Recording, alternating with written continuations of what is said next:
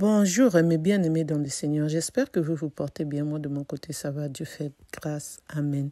Et je dis merci, Seigneur, pour le souffle de vie qu'il a, qu'il a renouvelé en moi, qu'il a renouvelé en vous aussi. Nous allons faire cette prière ensemble, la prière que nous avons l'habitude de faire dans nos, dans nos églises habituelles. Prions. Il est grand le mystère de la foi.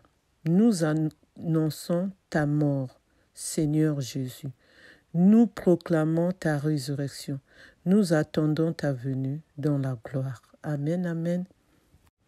Restons toujours en union de prière. Amen, amen.